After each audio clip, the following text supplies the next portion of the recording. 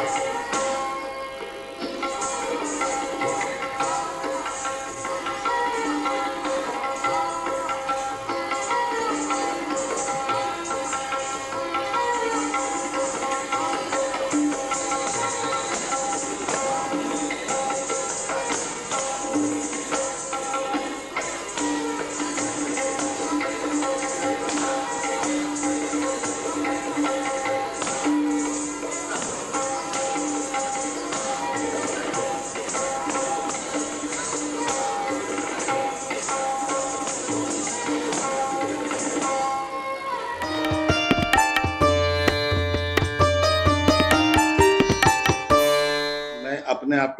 सौभाग्यशाली समझता हूँ कि ईश्वर ने मुझे ऐसे परिवार में जन्म दिया, कालका बिंदादीन घराना, लखनऊ। और उसके साथ साथ ऐसे पिता का पुत्र होना मतलब मेरे लिए बहुत ही, मैं अपने को बहुत गौरवान्वित महसूस करता हूँ इस बारे में कि ऐसे घर में पैदा होना, ऐसे पिता का पुत्र होना और आज पीढ़ियों दर पीढ़ियों से हमारी जो परंपरा चली आ रही कथक की, जो आठ पुश्तों से चली आ रही, मैं इस अपने घर का आठवां पुश्त हूँ। मेरा बेटा नाइन जनरेशन है, त्रिभुवन महाराज, वो भी बहुत, लगन के साथ, बहुत मेहनत के साथ उसी तरीके से, जैसे एक परंपरा को चलाना है, चलना है, उस प्रकार से वो भी लगे हुए हैं, और मुझे बड़ी खुशी है कि ये परंपरा की जो कड़ी है वो जुड़ती जा रही है और आगे कायम है और यही हमारी हमेशा यही रहता है, इच्छा रहती है, मनोकामना भी हमारी यही है ये परंपरा सौ पीढ़ियों तक यूँ ही चलती रहे और लखनऊ घराना और इस दिन घराने की जो नाम है और महाराज जी का जो नाम है, उसमें उसका, उसमें चार चाँद लगता रहे। तो सबसे पहले तो मैं भी अपने को बहुत बहुत सौभाग्यशाली ही समझता हूँ कि मैं इस परिवार में जन्म हुआ मेरा। जहाँ तक जन्म हुआ, मेरा जन्म लखनऊ में हुआ और लखनऊ में मेरा पुश्तैनी मकान जो है वहीं पर मेरा घर में ही जन्म हुआ। और बचपन में हमारी अम्मा, माँ जो थी, वो कहती थी कि बेटा जब तुम छोटे से तो तुम कभी भी हम, मैंने खिलौने से नहीं खेला। कभी मेरे लिए झुंझुना नहीं आया, बॉल नहीं आया, कोई ऐसी चीज़ नहीं आई जो बच्चों को खिलाया जाता। है हमेशा घुंघरुओं के साउंड से मुझे खिलाया गया। स्वरों से, हारमोनियम बजा बजा के, गाना गा गा के मुझे खिलाया गया, तबले की थाप पे खिलाया गया। और पैदा होते ही महाराज जी ने तो सबसे पहले मेरे पैरों में, दोनों पैरों में छोटे छोटे घुंघरू बाँध दिए थे। तो मैं बिस्तर पे कहते हैं, क्या मेरी अम्मा बताती है कि पैर जब चलाता था तो उसमें छुम छुम छुम छुम तो बड़ा मज़ा आता था उसको देख। तो मेरा बचपना यूँ ही बीता और उसके बाद हम लोग दिल्ली आए और दिल्ली आकर के हमने यहीं पर अपनी पढ़ाई की भी शिक्षा शुरू की। सबसे पहले मैंने हैप्पी स्कूल में आ, पढ़ाई की और उसके बाद भारतीय विद्या भवन में मैंने पढ़ाई किया। और साथ ही साथ डांस का भी मेरा सिलसिला जारी रहा। उस समय महाराज जी को बहुत ही ज़्यादा व्यस्त रहते थे हमेशा। और वो मतलब उनका एक पैर दिल्ली में रहता था एक पैर जो है वो हमेशा बाहर। कभी बम्बई कभी कलकत्ता कभी मद्रास कभी कहीं कभी अमेरिका कभी तो सिखाने का अवसर बहुत उनको बहुत ज़्यादा मिलता नहीं था। तो आ, लेकिन जब भी समय मिलता था तो मैं और मेरी बड़ी बहन जो थी ना कविता दीदी हमारी साजिद जी की पत्नी जी हम दोनों एक साथ सीखते थे डांस। और महाराज जी से तालीम लेते थे। तो महाराज जी अक्सर कहते थे कि भाई देखो ऐसा है। कि मैं टाइम तो उतना दे नहीं पाता हूँ। तो हमारे हमारे दादाजी के स्टूडेंट हमारे कथक में काम करती थी, जो रेवा विद्यार्थी जी के नाम से। तो उन्होंने हमें उस क्लास में भेज दिया। कहने कम से कम थोड़ा बोड़ा बेसिक सीखते रहो। तो थोड़ा बोड़ा तो उनसे भी हमने तालीम दिया। लेकिन पूर्ण रूप से जो तालीम महाराज जी ने हमें देना शुरू किया, और वो तालीम, ऐसी तालीम की आज उस तालीम की जो बीज है, जो जिससे मैं कितने तालों को निर्माण कर पा रहा हूँ और कितनी चीज़ों को बना पा रहा हूँ, ये सब उनका आशीर्वाद है और मैं बहुत सौभाग्यशाली भी समझता हूँ। मैं पहले, मैं ये कहना चाहता हूँ कि मैं उनका पहला शिष्य हूँ। उसके बाद बेटा तो मैं बाद में हूँ, पहले मैं उसका शिष्य हूँ। तो उन्होंने मुझे 2008 में गंडा बांधा और एक शिष्य की तरह उन्होंने मुझे अपनाया और मैं अपने यात्रा जो है, नृत्य की यात्रा, संगीत की यात्रा यूँ ही चला चला रहा हूँ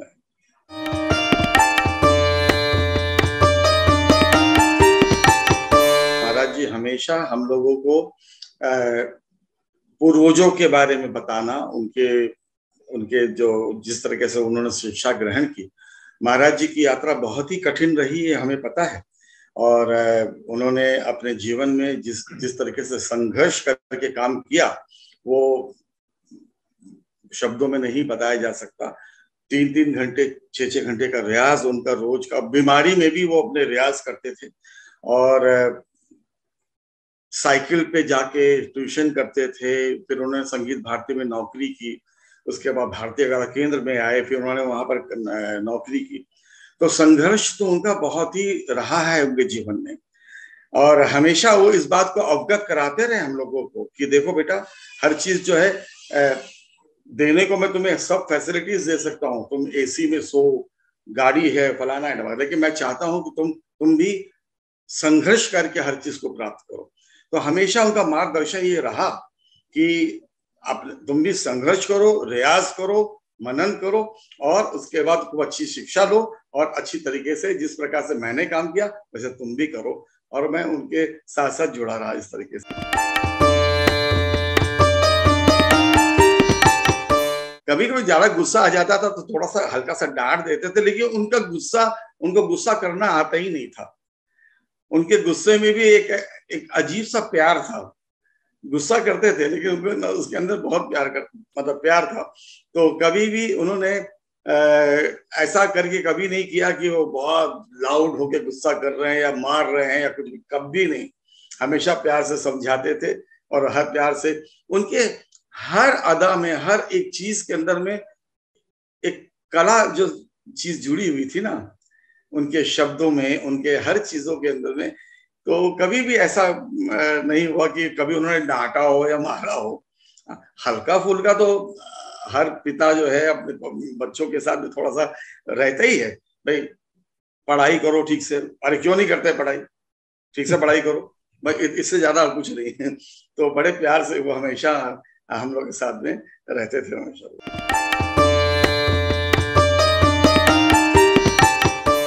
और हमेशा वो कहते थे, वो कहते थे कि कभी तुम ज़िंदगी में तसल्ली मत करना कि कि तुम तुम्हारा नाच पूर्ण हो गया है या तुम पूरी तरीके से नाचने लगे हो?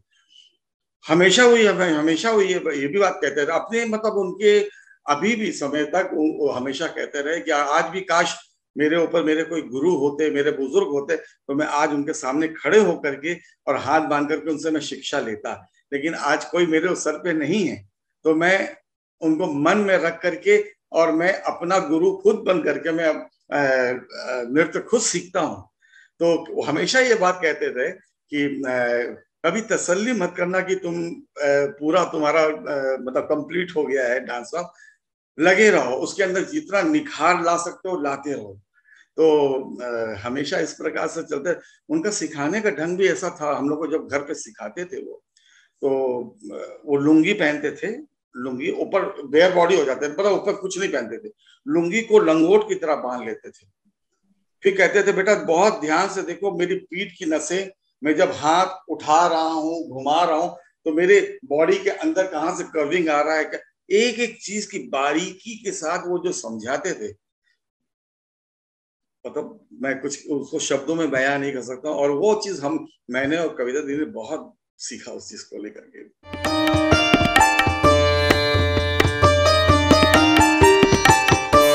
महाराज जी कहते थे इस बात को कि कविता के अंदर में मेरी झलक आती है।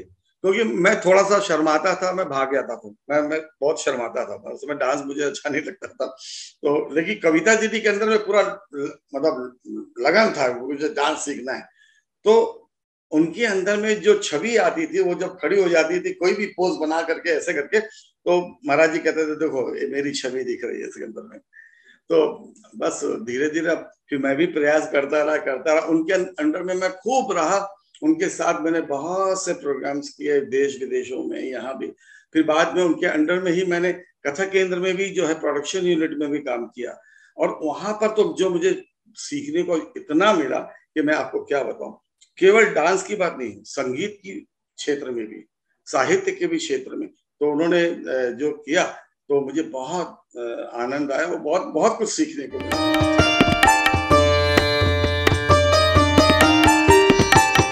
महाराज जी हमेशा इस बात को कहते रहे। कहने रहे कि आज भी अगर मेरे ऊपर कोई मेरे बुज़ुर्ग होते, चाहे मेरे चाचा होते या कोई भी होते तो मैं आज भी उनके सामने खड़े होकर के हाथ बाँध करके मैं उनसे तालीम लेता।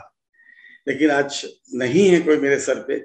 तो उनको ध्यान में रख करके उनको उनके तस्वीर को उनके देख करके और उनसे मैं बातचीत करता हूँ और मैं उनसे अभी भी सीखता हूँ। तो हमेशा इस बात को कहते थे कहते थे कि कभी भी आ, हमेशा बहुत आदरपूर्ण से अच्छी तरीके से अपने नाच को देखो और समझो और करो।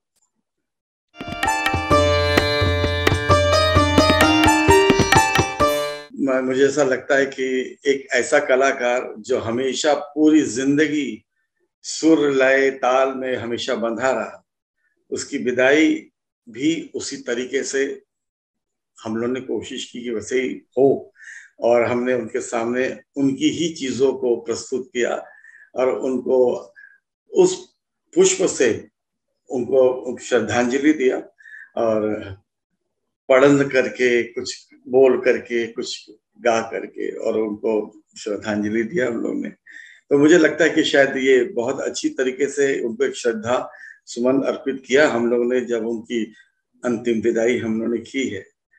विदाई मैं कहना नहीं चाहता हूँ, मैं हमेशा मैं इस बात को जब जब भी कोई कहता है तो मुझे लगता है कि, क्योंकि महाराज जी आज भी हमारे साथ हैं, मेरे साथ जुड़े हुए मैं कभी भी महाराज जी के फ़ोटो पे कभी माला नहीं चढ़ाता हूँ, कभी कुछ नहीं चढ़ाता हूँ, क्योंकि वो हमेशा हमारे साथ में रहते हैं। हमें मार्गदर्शन आज भी दे रहे हैं वो। आपको ताजुब होगा। मैं आपको बता रहा हूँ कभी कभी अकेले में जब बैठता हूँ तो मेरे कान में ऐसा लगता है कि कोई मेरे कान में कोई तिहाई बोल रहा है, कोई टुकड़ा बोल रहा है। महाराज जी की आवाज़ आती है कि भाई, बेटा, ये तिहाई सीख लो, ये टुकड़ा सीख लो। ये मैं क्या बताऊ मैं बहुत तकलीफ़ है कि वो चले गए, वो, उनको अभी जाना नहीं चाहिए था। अभी उनको काफ़ी टाइम रहना चाहिए था, अपना आशीर्वाद हम पे सब पे बनाए रखना चाहिए था।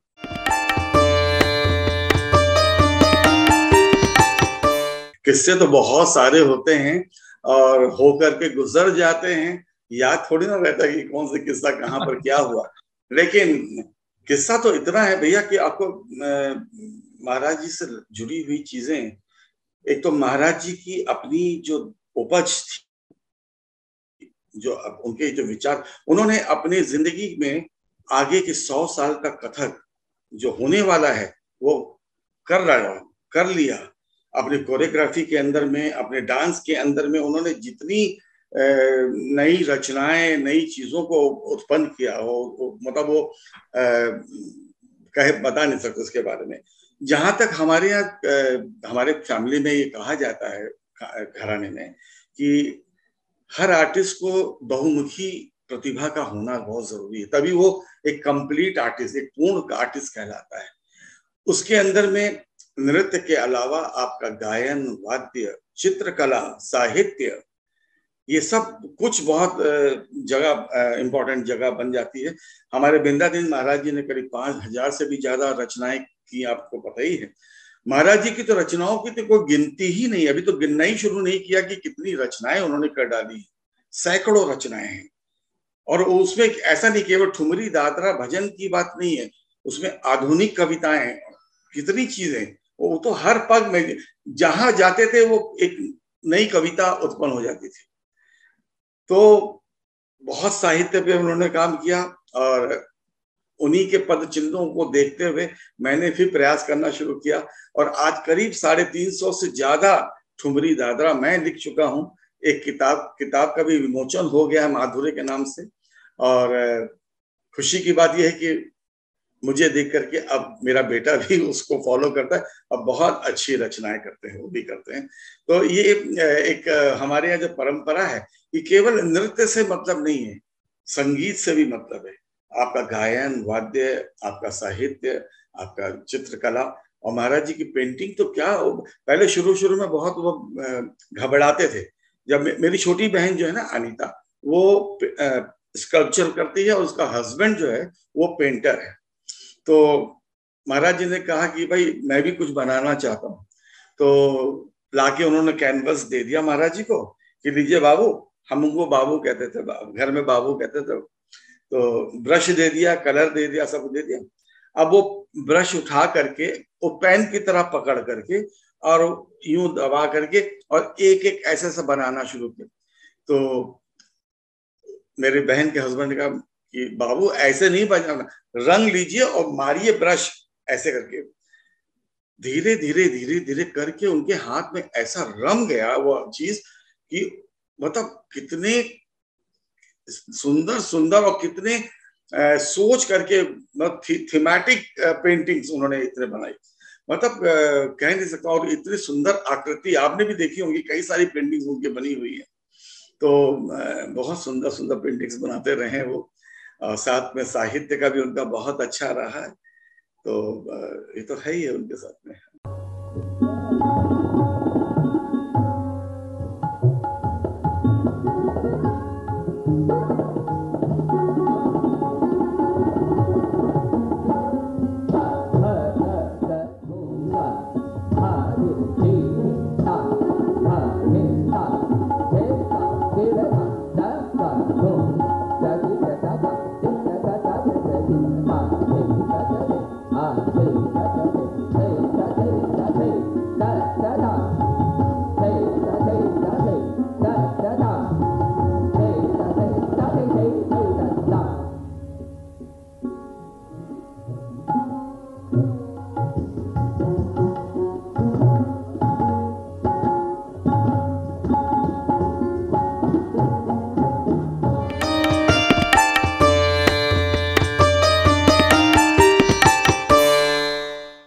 फ़ायदा हुआ। क्योंकि महाराज जी का एक तो पुत्र होना और फिर मुझे बड़ा सौभाग्य रहा कि उनके साथ खड़े होकर भी नाचने का मुझे अवसर मिला है।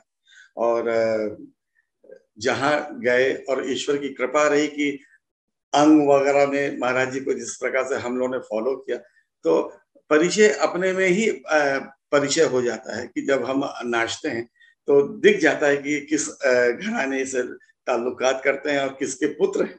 तो मुझे तो लगता है कि मुझे तो बहुत मतलब महाराज जी का पुत्र होना तो मेरे लिए सौभाग्यशाली, सौभाग्य है ही है मेरे लिए। तो मैं तो कह सकता हूँ, बहुत अच्छी मतलब मेरा तो सौभाग्य है ही है।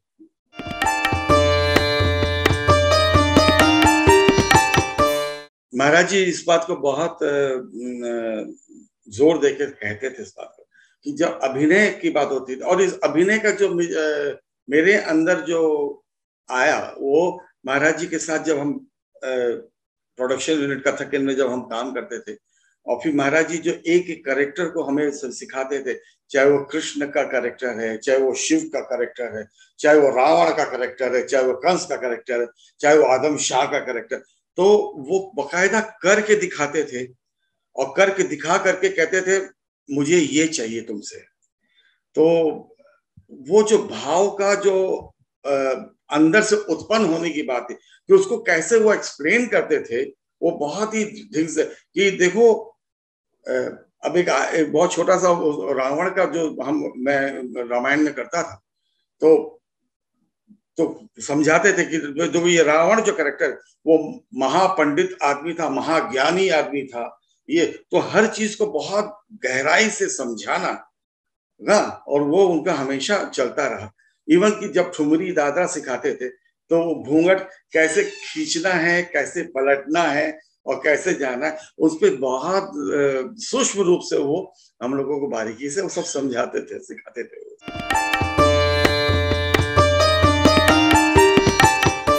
समय के बदलाव के साथ साथ थोड़ा थोड़ा सब कुछ बदलता ही रहता है। जो बिंदादीन महाराज जी, ठाकुर प्रसाद जी, दुर्गा प्रसाद जी वगैरह ने किया, उससे हटते हुए शंभु महाराज जी लक्ष्मी महाराज जी शंभु मतलब सिलसिला वही है बट उसके अंदर में एक नयापन थोड़ा सा आ, आता गया।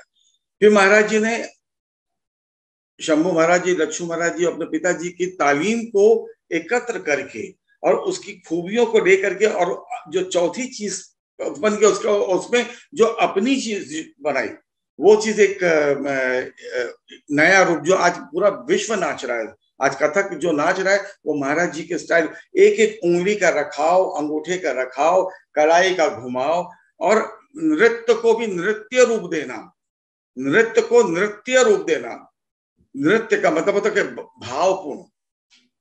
हाँ तो नृत्य को भी नृत्य रूप देना। ये महाराज जी की बहुत बड़ी योगदान था और अब जब लोग मुझसे अपेक्षा करते हैं तो मुझे भी कुछ नया करना है। मुझे, महाराज देखिए, उस चीज़ को रखते हुए उस चीज़ उसको सिद्धांत को बनाते हुए और उसके अंदर एक नया रूप बना करके और उसको एक नए तरीके से पेशकश करना हुआ लेकिन जो जो नींव है, वो अपनी जगह कायम रहे। परंपरा जो है, जो घराने की परंपरा है, जो है, जहाँ पर कहते हैं, हमारे यहाँ कहा गया कि यथो हस्ता सतो दृष्टि यथो दृष्टि स्तो मन यथो मन स्तो भाव यथो भाव सतो रसा। ये पाँच एलिमेंट, जिस प्रकार से हमारा शरीर पाँच चीज़ों से बना हुआ है, अग्नि, वायु, आकाश नीर वगैरह वगैरह। ऐसे ये पाँच चीज़ कि जहाँ हाथ, वहाँ नज़र, जहाँ नज़र, वहाँ मन का पहुँचना। मन का पहुँचना, वहाँ भाव की उत्पत्ति और वहाँ रस का आना। तो ये हमारे लखनऊ घराने की बड़ी खास बात है कि नृत्य में भी हमारे जो मूवमेंट के साथ जो भाव भंगिमा, चाहे शरीर की भाव हो, चाहे मुख भाव हो उसका जो समन्वय वो एक साथ होता है। तो ये चीज़ हमारे यहाँ है, बरकरार। और उसी चीज़ को कायम करते हुए उसी को हम आगे पीढ़ी को बढ़ा रहे हैं। हाँ उसमें एक नयापन ज़रूर है। कुछ ना कुछ नया सोच डाल, डालते ही जा रहे हैं, करते ही जा रहे हैं।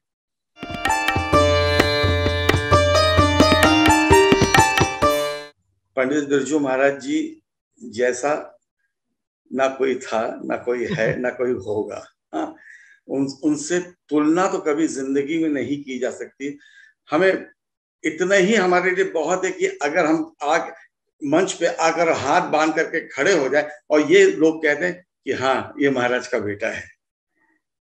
बस वही बहुत है हमारे लिए कि अगर उन, उनकी एक छवि हमारे अंदर से दिख जाती है लोगों को तो उससे बड़ी उपलब्धि तो और कुछ है ही नहीं मेरे लिए। तो उस उस उसी को सोच करके मैं नृत्य करता भी हूँ, नृत्य दिखाता हूँ, भाव करता हूँ, भाव दिखाता हूँ। उसी क्योंकि मैंने महाराज जी को हर प्रोग्राम में मैं उनके साथ में हमेशा संगत के लिए बैठता था। और बैठता था तो मैं, मेरा बैठने का मतलब सिर्फ़ संगत करना नहीं था। मैं महाराज जी को बहुत गौर से उनके चाल, ढाल, भाव वगैरह को बहुत बारीकी से देखता रहता था कि महाराज जी कहाँ पर क्या कर रहे हैं, कैसे कर रहे हैं। और मैं उसको बहुत अपनाने की कोशिश करता रहा। और वो शायद वही चीज़ ऐसा है। हमारे यहाँ कहा गया ना कि देखा शिक्षा परीक्षा। हम्म। ये एक बहुत चीज़ है। नाच सीख लेने से ही नाच नहीं आता है। नाच को देख करके भी सीखने से जो आपको हासिल होता है वो एक अलग तालीम है। ये बहुत कम लोग जानते हैं कि देखकर कैसे सीखा जाता है।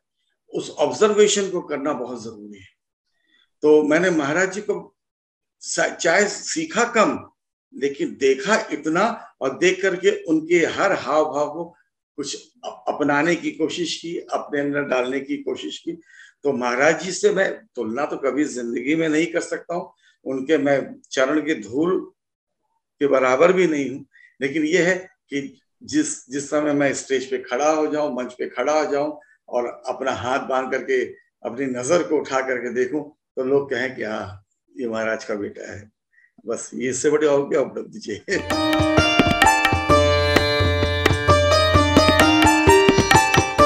कोई कोई घुट्टी नहीं है। हम्म? जिस प्रकार से मैंने अपने गुरु महाराज जी से शिक्षा ली है, और महाराज जी ने हर रोज कुछ अपने वचन से, कुछ अपनी बातचीत से जो चीज़ हम लोगों के अंदर डाली और जिस जिस, जिससे हम पन पे, वही बात मैं अपने शिष्यों से कहता हूँ, उनको सुनाता हूँ, और उनको उस तरीके से सीखने के लिए उत्साहित करता हूँ, उनको सिखाता हूँ, और बस मेरा तो ये रहता है कि मेरा हर शिष्य, देखिए पाँचों उंगलियाँ बराबर नहीं होती, हर शिष्य एक एक जैसा नहीं हो सकता। लेकिन मेरी कोशिश यही रहती है कि मेरा हर एक शिष्य इस लायक तो होना ही चाहिए कि खड़ा होकर के दो टुकड़े लगा दे तो लोग कहें कि वाह बाकी नृत्य है। तो बहुत प्यार से मैं बहुत सिखाता हूँ, बहुत मोहब्बत से सिखाता हूँ, और, जिस प्रकार से मैंने शिक्षा ली, उसी प्रकार से मैं शिक्षा उनको देता हूँ। अपने पूर्वजों की बात बताता हूँ, अपने पिता की बात बताता हूँ, और उस सिद्धांत पे चलने के लिए क्योंकि उनको ये बताना बहुत ज़रूरी है कि ये शास्त्रीय नृत्य हमारा जो है या हमारे घराने की जो कला है, कथक, वो उसके पीछे कितना लोगों का योगदान रहा है, कितना समर्पण रहा है और किस तरह से उन्होंने अपने डांस को बढ़ाया है आगे। तो ऐसे आप लोगों को भी बढ़ाना है। यही बात मैं अपने बेटे को भी समझाता हूँ, यही बात मैं अपने शिष्यों को भी सिखाता हूँ। इससे और बड़े, मैं मैं बहुत अपने को सौभाग्यशाली समझता हूँ बात कि मेरे जितने भी शिष्य हैं, वो मुझसे भी इतना ही प्रेम करते हैं, इतना ही प्यार से रहते हैं, कि मैं सब कुछ देता हूँ उनको, सिखाता हूँ उनको।